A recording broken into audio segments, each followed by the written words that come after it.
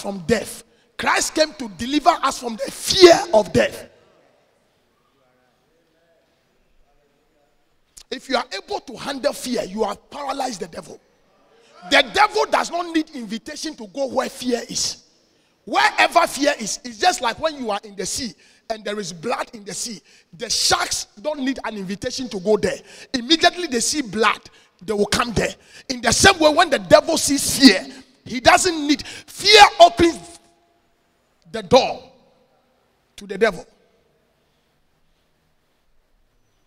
So stop being afraid of tomorrow. One day during my prophecy, a young girl walked up to me and said, hey, Prophet Eric, I want you to pray for me. I said, I can't pray for you if I don't know what you want me to pray about. He said, Pray that when I marry, I'll give birth. I said, ah, How old are you? He said, 22. I said, Go and renew your mind. Why are you afraid now that you are not even married and you have not even reached the age of marriage and you are afraid that you will not give birth to a child? Renew your mind. You know something?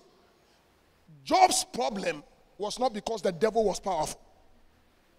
Job's problem was his fear. He said, The things I fear are the things that have happened to me. But there is one key that Job had hope. Hope. The guy has so much hope. The wife told him, in all the account, that's another message against women. In all the account, Job was struck with sickness. His business collapsed. His children died. Nothing happened to the wife.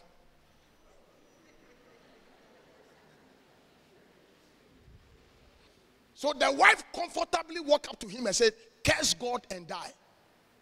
The man said, You are talking like one of those foolish women. But the guy had hope. That, there was one time he made a statement in the Bible. He said that I will wait for my appointed time. And he knew that his change will come. He was in a difficult situation, but he was hopeful that one day I will come out of it. Hey, it doesn't matter where the devil has put you. Be hopeful that one day, one day you will come out. Even when Bukom Banku was beating Ayitey Powers, he had hope that there was somebody with a bear that will hit it and you rest more.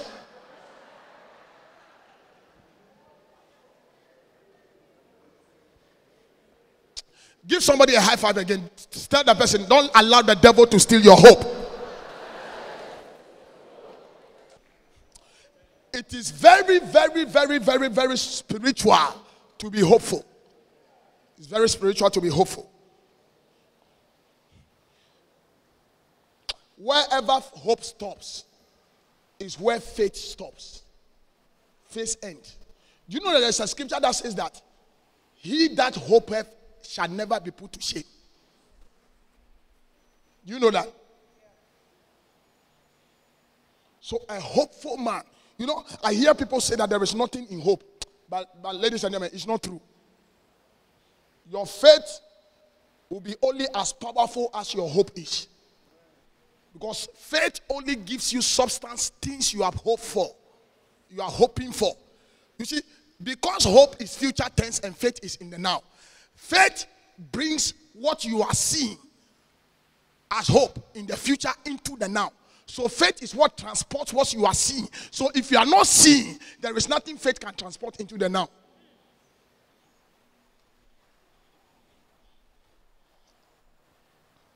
Our hopelessness is the reason for our helplessness. And I pray that today, you know, there is one woman that marvels me in the scripture, in the book of Second Kings, chapter 4, verse 18 to 37. That woman had a miracle child. She's called the Shunammite woman. The child died, and he told the husband, Ask the young man to saddle a donkey for me. The husband has given up. There was a case I dealt with one time. Eh? Doctors, doctors diagnosed that the baby died in the hospital. And the, the, the woman called me And when I was speaking to the man, the man was crying like a baby. Hey, hey, hey, hey, hey, hey. so sɛ wɔn bɛrima na ɔso a deɛ but the woman refused to give up hope. He said prophet eric is my only child. It's my only child. I said madam according to your faith that child cannot die immediately the doctor turned the back the church sneezed and came back to life if the woman had given up, the child would have died. This woman told the husband, he told the husband, Give me a donkey. The husband knew that the child was there. And even when the prophet saw the woman coming, he asked, Is everything well? He said, All is well. That means that she was hopeful that the child would resurrect. Ladies and gentlemen, what Jesus Christ was telling Martha was that be hopeful. Your brother is sleeping.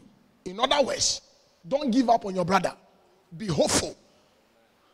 Because Martha did not, Martha and Mary did not understand that the resurrection and the life was the one coming into their house. He that has a keys of life and death, he shuts and nobody can open. He opens and nobody can shut. He refused to understand that. Please be hopeful. I say, be hopeful. I've come to realize that your case is never closed until you close it yourself. If you refuse to allow your case to be closed,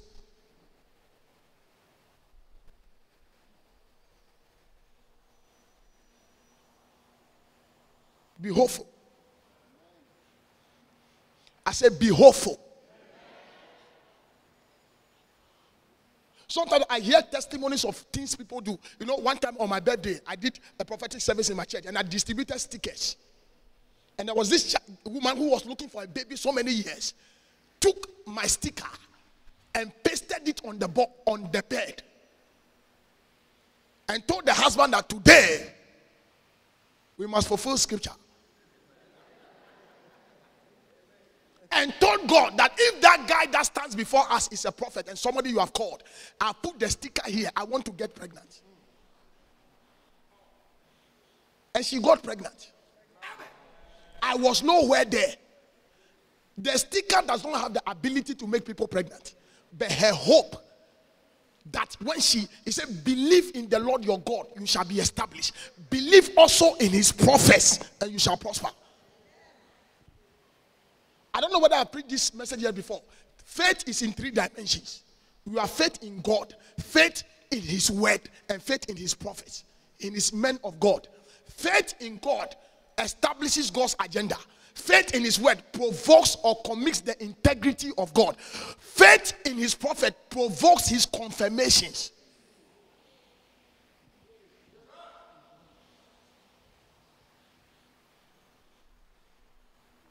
I came to tell you as a prophet. A Baptist prophet raised up in the Baptist church, bred in the Baptist church, under the supervision of the best pastor in the whole wide world, the Honorable Reverend Emmanuel Alatete. And I came to prophesy with my eyes open to somebody that I don't know where they have put you. I don't know where the devil has put you. But I declare that your case is not closed. You, you don't you, you, you, you, you, you don't sound like you, you you have heard me. I say I declare that your case is not closed. that case is open to your favor. I say it is open to your favor. I say it is open to your favor. I say it is open to your favor.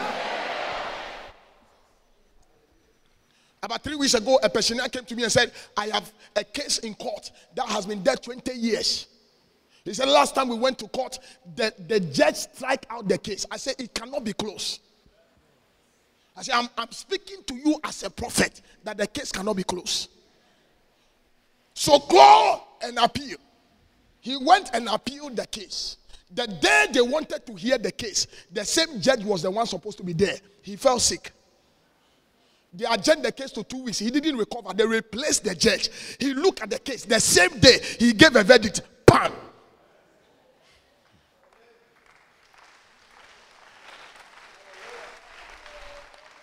Look, look, look. Don't allow the devil to see you crying. He has put you in a case and you are crying. It makes him very excited. Mañano, mañano, mañano. But listen, listen, listen, listen, listen, listen, listen. Ah. Don't allow the devil to now. He may be squeezing you, but look unto what God has said. And you see, the main source of hope is God's word. Because he has said it, you believe. Ah, ah, ah, ah, ah, ah, ah, ah. You know, you know, Job says something. He says that when you make supplication to God as aforetime, your latter end shall be greater than your former. So our source of hope is not based on the finance minister's declaration. Our source of hope is not based on Mary Kay. Your source of hope of getting a husband is not based on slick and Mary Kay makeups.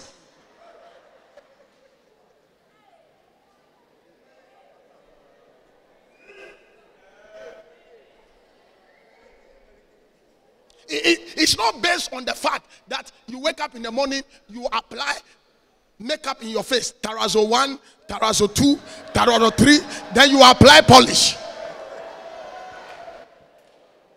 It's not based on that.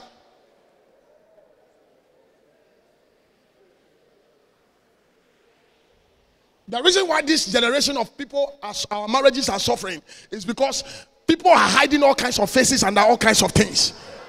So when you marry them and you had the honeymoon, in the morning you begin to wonder: This is this what you married?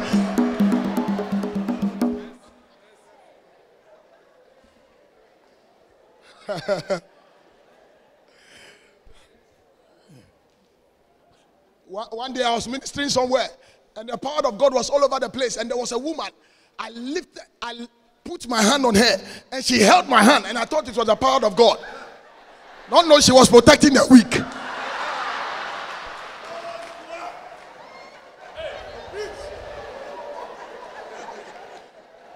And me too, I refused to remove my hand. When the weak fell, the, anointing reduced from 90 to zero. I said, people are carrying things. Oh.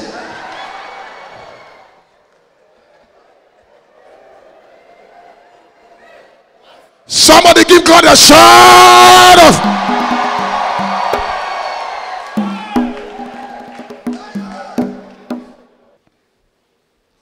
Tell somebody hope. Tell somebody hope. Listen, listen, listen, listen. Next year, by this time, when I see you, eh, I'll not be able to recognize you. Because your life will so change your economy will so change that when I see you, I can't recognize you.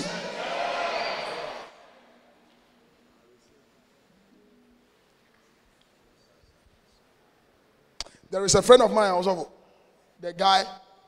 When I see the guy today, I say, hey, he finished school, no job. I give him mon- money every month to sustain him. There were times the guy would be crying because no money from anywhere. The girlfriend was with her three years. He said, "This is my bread." And Nuna would born you no Matia bread. This is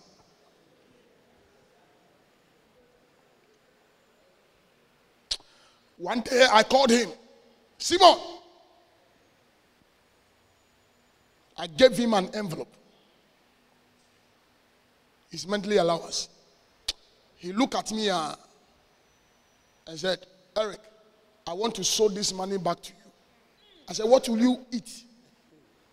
He said, Don't just allow me, I want to sow it to you. So he gave me the money. And compa- compassion rose up inside me. All my intestines rose up. And I said, I received the money, but I'm showing it back to you. I said, From today, your story has changed. You shall lack no more. He left my house, walked, and then saw a man whose car has broken down. And asked the man, the man was struggling. You know, this that about people when they grow, they don't know where water is. They don't know anything. So the man was there making phone calls and calling people to come and fix the tie. And this friend of mine asked the man, Can I help you? He said, My tie. He said, Do you have a spare tire? He said, It's in there. The guy went under, screwed the thing, and removed everything and fixed the tie. And the man said, Thank you. He wanted to give him money. He said, I don't want money. Then the man drove off. Then the man stopped and reversed back again. I said, Young man, but why are you not at work at this time? He said, I don't have a job. He said, What is your qualification? He said, This is my qualification. He said, This is my card. Come and see me in the office. He gave the boy a UN job. Also, for if I tell you about this boy now, cars, buildings, I dedicated his third building about two and a half months ago. Third, third.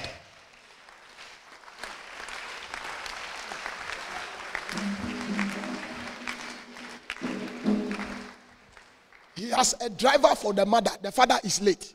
A driver for the mother. Right now, the girlfriend wants to come back. He came to me. I say, hey, that is a, a Job's wife. Sack her.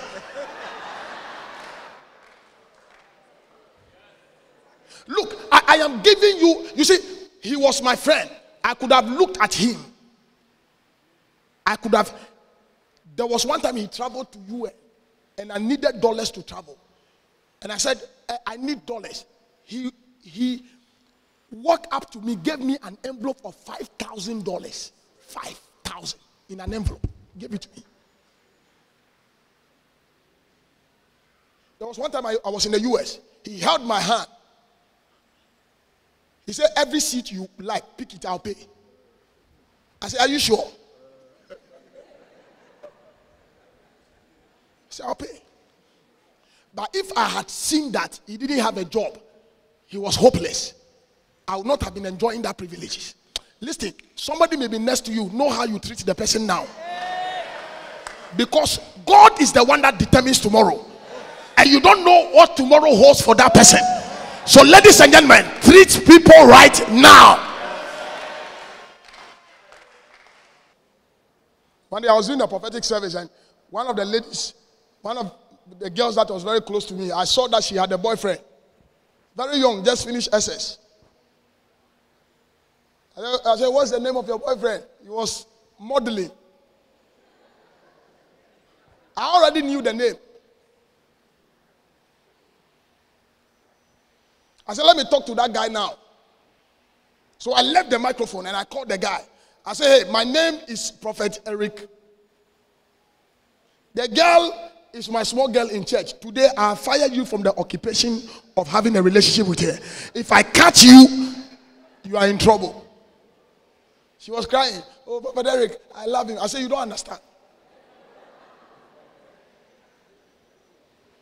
Because see, GSSS, the more you grow, the more you meet.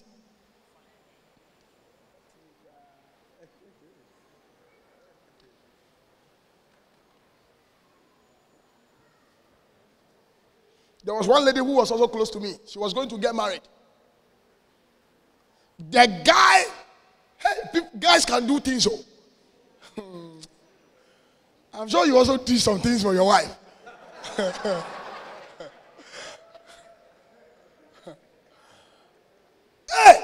the guy will go and visit the girl eh, and talk with the girl. And when it's 12 a.m., the girl goes to sleep. He will sleep in his car in the girl's house.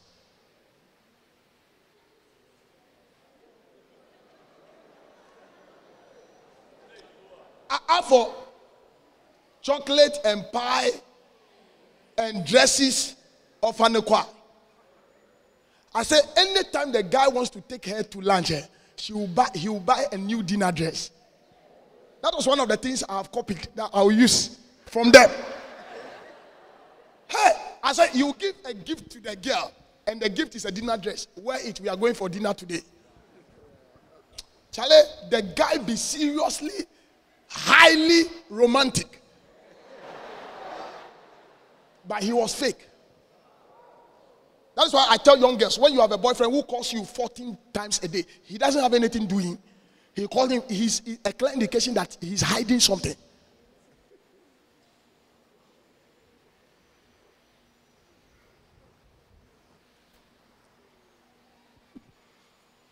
One day I was prophesying. I, asked one girl, Your boyfriend calls you 14 times a day. Say yes. I say, When he calls you, there are certain questions he asks you. Odo, who are he? Who are there? I said, It's a clear indication that there is another woman there. Because he is calling her to know, he knows the distance between his house and your house. So when a woman is there, in order to play safe, not all men do that. I'm, what I saw is what I'm saying. He calls to know where you are. So when he knows that your house is at Greater Estates and you are in Tema, it will take you about one hour to get there. So he has calculated. Don't worry him, he will fear. Then he's relaxed. My friend say. Then he will misbehave that one hour and know that after one hour, the person there can vamoose.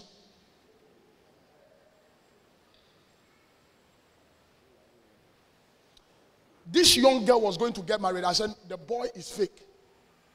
He said, Oh, Brother Derek, I, lo- I love him. And that's the way girls behave. We are prophets telling them things. What they feel is what they are saying. And we are not talking about feeling, we are talking about the future. They went ahead. I traveled out. By the time I heard, they were married. So she was at the honeymoon outside the country in South Africa. And she called me. Oh, Eric, I'm sorry I disobeyed you and blah, blah, blah. So I asked. My prophetic thing thinking, I said, I asked, where is your husband? He said, my husband just stepped out. I said, no, your husband is with another lady in the same hotel. He said, oh, Prophet Eric, that is not possible. I said, okay, let me call you the room number. So I called the room number and I gave her Holy Ghost GPS. I said, don't use the front door. Use this door. You meet a cleaner there. Give some money to the cleaner. He will open the other door for you. He says, you will enter. She did it. He has gone to catch the guy. In other words, when they were going for their honeymoon, the guy also transported the girlfriend there. But, ladies and gentlemen, faith works by love. Galatians. That means that faith always goes with love. You see, because love is the motive of faith.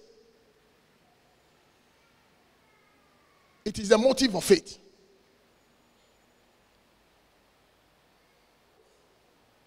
Faith does not, you see, God is not a Father Christmas. God is not a water dispensing machine. So, people think that they can just go to God, get things from God, and abandon Him. But God only moves on behalf of his lovers. He said, Eyes have not seen, ears have not heard, blah, blah, blah. To them that love him, to them that love him. So, anybody who is in love with God, oppressed in faith, and is hopeful, that person will be victorious. Do you know that David never lost a battle? because of his love for God. God even told him, Don't build a house for me. But he told his son, Because of my love for God, I have made materials for his building available. One day, when God got angry with him and said, Choose one option, and he decided to fall in the hands of God, and God was killing, and he went to the trenching floor and, and, and wanted sacrifice. He, he told the guy, I can't give anything to God that does not cost me. People don't love God and they want God to do things for them. They don't love God. They think that God is for the Christmas. They come, God give me thing. And they, there are people here when God bless me them with one million dollars, you not see them in church again. And because you don't have any love for God, God cannot bless you. God is looking for people he can bless, but people that love Him. And I can measure your love for God by the way you come to church, the way you read the Bible, the way you pray, and the way you give.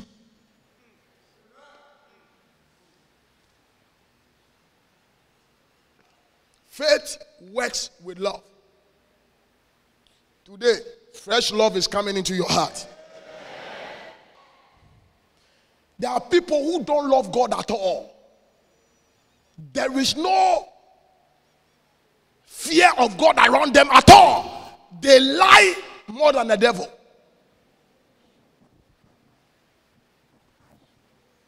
But just be in love with God, a lover of God, a lover of God. You love God so much that people think you're a fool, but you're a lover of God. Hey, people who love God, pie. Eh, when it's time before worship, worship and they are worshiping God, they don't mind that they can use their dumas and lie on the ground. Because they know that they are nothing without God. I don't know where I would have been if God, it wasn't for God. I would have been dead by now. Every day I wake up with the consciousness that the, the, the, people who want me dead are plenty. But until God gives you up, they can't have access to you. That is why you need to love Him. Love Him rather than loving yourself. Love Him. A man cannot love another person if he doesn't know how to love God. As a matter of fact, you can't love yourself if you don't know how to love God. Faith works by love. Because see, if God wants to give you something, He looks at your intention and your motives. I, I, am I going to bless this person because you see, there are too many people that are too proud for God to bless them. Because when He blesses them,